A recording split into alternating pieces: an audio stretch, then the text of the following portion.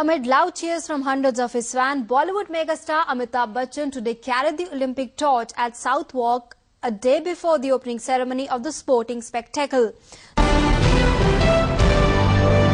69-year-old veteran actor was stationed in Southwark and he went on to cover a distance of 300 meters.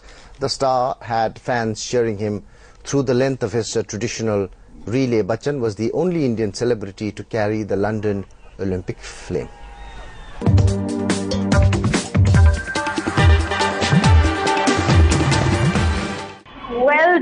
There is a huge, huge, huge amount of excitement and enthusiasm, especially from Indian fans here in London. I can tell you that we're uh, we're in fact close to one of the points from where the the torch is going to pass, and Amitabh Bachchan is going to be carrying uh, that torch. It's a place called Harris Academy, and we've got lots of uh, uh, you know Indian fans who've gathered here. There there are, there are people from schools and colleges. There are people who've bunked work, uh, you know, to come and watch because it's a life once in a lifetime opportunity. Really, you know, people have been trying to keep track of the routes, uh, which are the various spots uh, through which the torch is going to be passing, so that they make sure that they do not uh, miss uh, that that sight. They do not miss that view of uh, Amitabh Bachchan with the torch here, people gathering. They've been at uh, various other points, and this is really one of the points where we've gathered. Uh, you know, you heard a couple of those fans uh, speaking with us, so they're really excited. Uh, uh, people have got their autograph books out, some have got their phones, they've got their cameras. Like I said, uh, people have missed their classes, people have bunked work, rescheduled everything else that they had to do um, so that they made sure that they could be here